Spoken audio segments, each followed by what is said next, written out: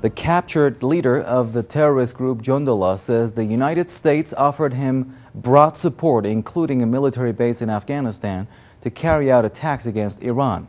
This two days after he was arrested on board a passenger plane in southern Iran.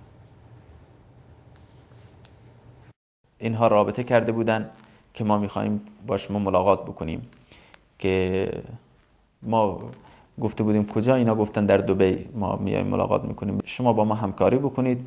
ما هرچی مشکلات شما باشه این افراد از زندان آزاد می‌کنیم. به شما امکانات مالی در اختیارتون می‌ذاریم و امکانات نظامی اسلحه مهمات ما برای شما تهیه می‌کنیم و در اختیارتون می‌ذاریم و پایگاهی هم به شما میدیم در هر جای افغانستان که شما بخواهید در مرزهای ایران. این حرفی که اونا گفته آمریکایی‌ها گفته بودن در ملاقات دبی و ما الان موضوع ما موضوع ایرانه. الان نه موضوع القاعده هست و نه موضوع طالبان ولی این که ما بگیم الان ما برنامه نظامی داریم نه Rigi also said his group was planning more attacks against the Islamic Republic. Abdul Malik Rigi and one of his aides were arrested on board a passenger jet on Tuesday. The terrorist leader was en route to Kyrgyzstan from Dubai on Tuesday when his plane was intercepted.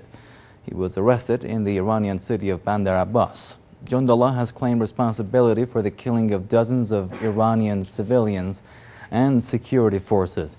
Iranian officials say they have evidence that the group was sponsored by the U.S. and Britain. Washington and London both deny the allegation.